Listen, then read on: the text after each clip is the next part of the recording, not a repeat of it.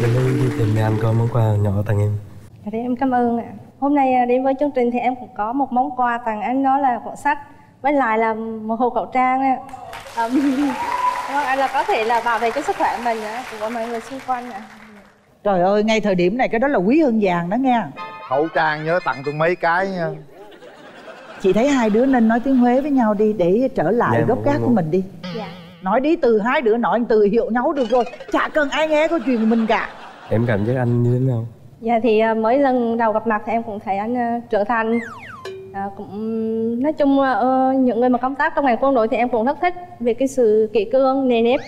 Em có nét um, um, nhẹ nhàng, dịu dàng của người con gái Huế Đặc biệt là uh, đến với chương trình ngày hôm nay em là rất là xinh đẹp Dạ cảm ơn. Rồi hai đứa về ghế ngồi nói chuyện đi em có cái bài hát huế nào không em hát một cái đi coi nga Dạ, hôm nay đến với chương trình em cũng xin hát một đoạn ngắn trong bài à, hát à, quê hương ba miền ạ. Em xin chào à, chị Hồng Vân ạ, anh Quyền Linh cùng với bạn trai bên kia. Dạ, em tên là Quách Thị Thanh Nga, năm nay em 29 tuổi, quê ở Huế ạ. Em làm à, điều dưỡng tại bệnh viện à, Thống Nhất. rồi mời chàng trai Ờ, Chào MC Quyền Linh, chào MC Hồng Vân Chào bạn nữ bên kia Và chào toàn thể ờ, mọi người trong trường quay. Tôi tên là Phạm Vinh, chính trị viên phó Đại đội 11, tiểu đoàn 9 Trung đoàn 66 huyện Ea Hà Leo, tỉnh Đắk Lắk. Mình quê gốc là ở Huế. Bây giờ à, bên đàn gái cho biết một chút xíu về ưu điểm khuyết điểm đi.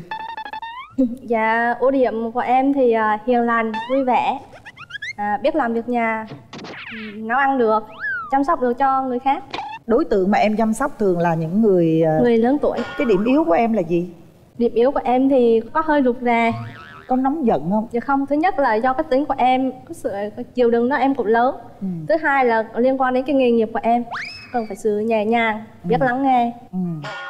Như vậy có nghĩa là nếu mà ai mà lấy được em á, thì là rất là may mắn khi nào mà được ở gần em á, đều thấy cái sự yên ổn, bình yên đúng Dạ. không? Ừ. nói cho Nói bà ti- mối biết là ưu khuyết Nói điểm của Huế em đi Nói tiếng Huế đi. Về ưu điểm của em thì um, vui vẻ, hòa đồng. Ngoài ra thì biết um, chiều chuộng, yêu thương một người con gái. Cũng biết ờ, lắng nghe. Thôi nói tiếng nam đi cho khỏe đi. Dạ, đối với lại ờ, khuyết điểm của em thì rụt rè, hơi nhút nhát trong chuyện tình cảm. có mấy mối tình rồi Với em thì ờ, đã trải qua một mối tình cách đây 4 năm, thời ờ, đại học.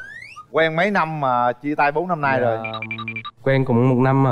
Để hỏi bạn- bên đây còn em, em có mấy mối tình rồi? Dạ, em cũng có một mối tình cũng là gọi gọi là tìm hiểu và qua một thời gian thì à, tình yêu nó chưa đủ lớn. Thứ hai là không có sự cái quan tâm cho nhau lắm nên à, hai đứa chia tay. Chia tay lâu chưa cưng? Dạ được à, hơn một năm rồi. nói chung là hai bên thì cũng có một mối tình giống như nhau nhưng mà cũng trắc trở chưa có nợ với nhau bây giờ hy vọng mối tình này mình sẽ nợ với nhau luôn nha.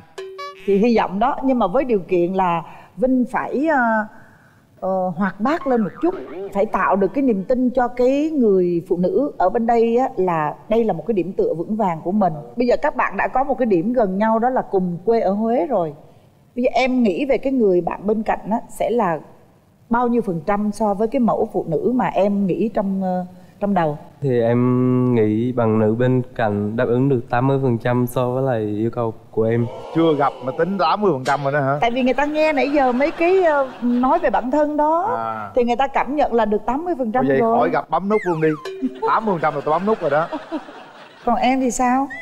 Dạ, hồi nãy giờ em cũng nghe là chia sẻ của bạn trai thì em cũng cần một sự chín chắn trưởng thành hơn, năng động hơn để có thể là bảo vệ cho em tại vì tính em cũng là hơi rụt rè. em ờ, có cái mẫu hình lý tưởng nào về cái người con trai người bạn trai của em không Dạ em thì ờ, không có mẫu hình lý tưởng, bên ngoài dễ nhìn là được, cao hơn em. cao hơn em em thì là là bao nhiêu em tầm mét rưỡi.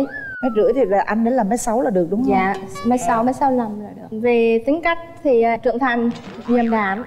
Sau khi mà có gia đình thì có thể là biết là quan tâm chăm sóc cho gia đình nhiều hơn. em cảm nhận bạn bên đây là có được bao nhiêu phần trăm mà cái yêu cầu của em? Người ta bên đó là nói bên đây là tới 80 phần trăm đó còn em thì bao nhiêu? Em thấp hơn một chút xíu chắc là khoảng 60 phần trăm. coi mắt đàn gái xíu coi áo tím như thế nào màu tím ông trung thấy tình. cái áo dài tím là ông đã thấy thích rồi đó. Đúng rồi. Nói thiệt luôn á. Đây nè Ừ. đó ồ tím riệm luôn ha. Tiếng riêng mà rất là bạn gái.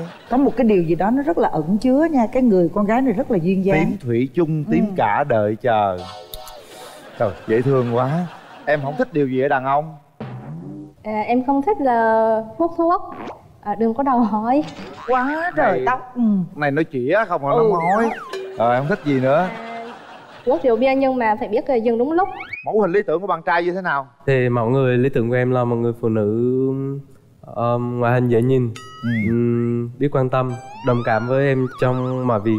Đảm đang một tí tháo vát để có thể chăm lo cho gia đình. Rồi.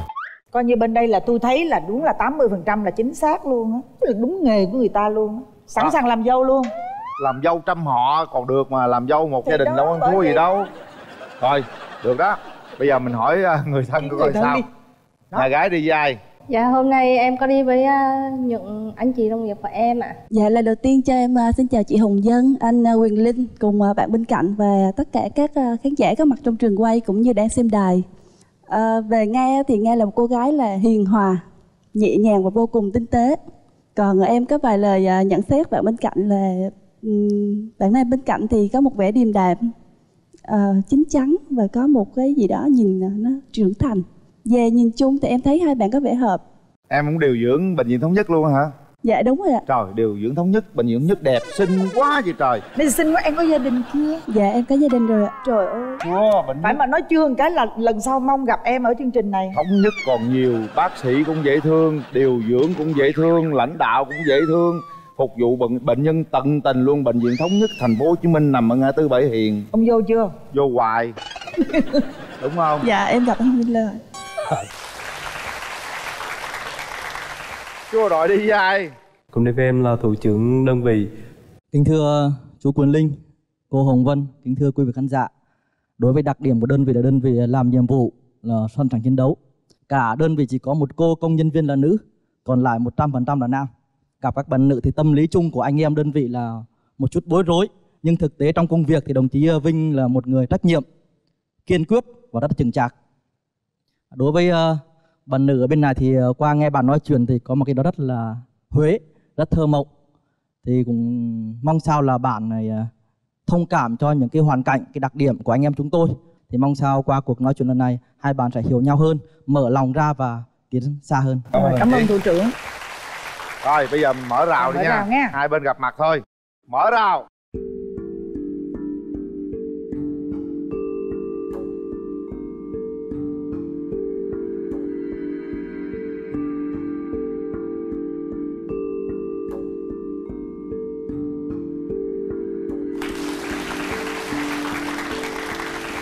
mình đi đi tìm mẹ anh có món quà nhỏ tặng em Dạ thì em cảm ơn ạ. Hôm nay à, đến với chương trình thì em cũng có một món quà tặng anh đó là cuốn sách với lại là một hộp khẩu trang ạ. À, vâng, anh là có thể là bảo vệ cho sức khỏe mình ạ, của mọi người xung quanh ạ.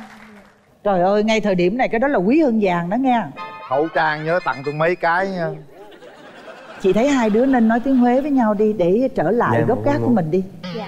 nói đi từ hai đứa nói từ hiệu nhau được rồi. Chả cần ai nghe câu chuyện của mình cả. Em cảm giác anh như thế nào Dạ thì à, mới lần đầu gặp mặt thì em cũng thấy anh à, trưởng thành.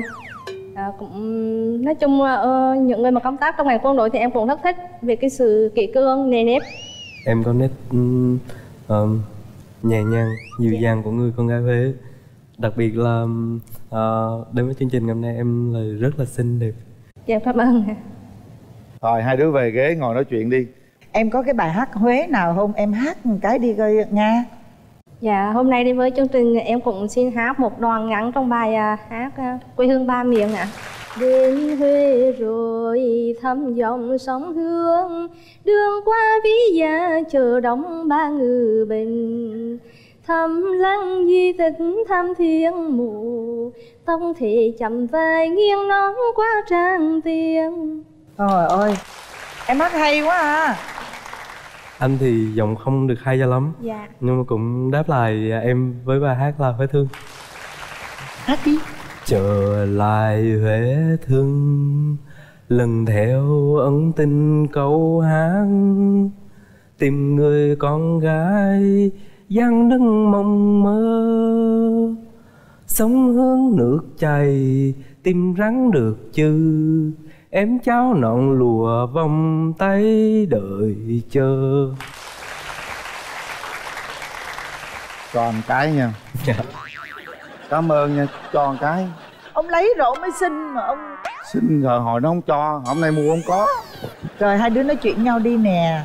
Chị cho em hỏi là anh ờ, đi vào trong này ờ, đắk lắc anh công tác đắk lắc được lâu chưa ạ? À, mình công tác cũng gần được một năm rồi hiện tại gia đình của anh là vẫn đang sống ở huế. Gia đình thì chuyển vào trong thành phố Buôn Ma Thuột sống cũng được một thời gian. Thì ờ, nếu mà sau này á mình có thể là mình tiến xa hơn thì em có phải về ở cái ờ, chỗ đơn vị của anh công tác để làm hay là? Đối với lại công tác thì ờ, anh chỉ cần cái gọi là thuận tiện nhất cho công tác của cả hai.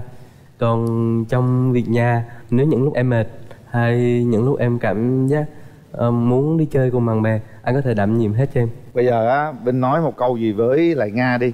Qua cuộc nói chuyện rồi mình suy nghĩ gì về Nga mình mong muốn cái gì ở Nga. Ha nghĩ sao nói vậy?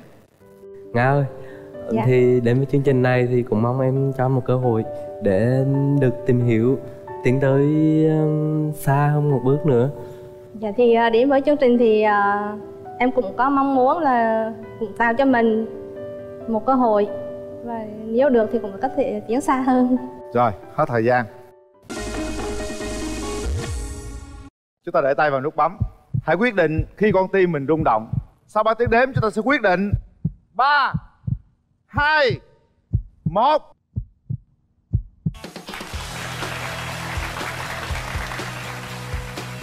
Xứng quá nắm xứng chặt rồi. tay nhau. Cảm giác uh, vinh thế nào vinh? Dạ đến thời điểm bây giờ vẫn còn run à rất là run à. À còn nga? Ngồi ở dưới thì rất run nhưng mà lên đây em thấy ờ, không còn run nữa. Cái nụ cười của vinh thân thiện quá mà. Cười rất là tin tưởng. Bây giờ vinh uh, xin phép gia đình của nga gia đình hai bên thủ trưởng mình với mọi người uh, cho hôn nga cái đầu tiên đi. Ờ, thì bây giờ xin phép gia đình hai bên ờ, cùng mọi người ờ, xin phép hôn nga một nụ hôn đầu tiên gì sao cứ trên không vậy? Đoạn giữa xuống giữa. Xuống giữa. Ông linh này dễ sợ lắm. Không nói chung á là anh muốn hai đứa à, gọi là có những cái cảm giác rất là ấn tượng trong ngày hôm nay nha. Món quà của các bạn là những chiếc vé xem phim của cụm rạp Cinebox 212 lý chiến thắng. Đến đó xem phim nói chuyện với nhau yêu nhau nhiều hơn. Dạ các bạn nhận được một món quà dễ thương từ mạng xã hội Mocha đó là cặp áo màu tím mang thông điệp gắn bó dài lâu. Các bạn hãy gọi điện nhắn tin để cùng thắt chặt tình cảm qua ứng dụng Mocha nha. Đặc biệt, khi vừa chat, vừa nghe nhạc trên Mocha thì dù xa cách mấy cũng thấy như đang ngồi gần đó. Ra đường đeo khẩu trang vô cho an toàn. Đeo vô. Đeo vô đi, đeo vô. Đeo vô. Dân đeo vô luôn.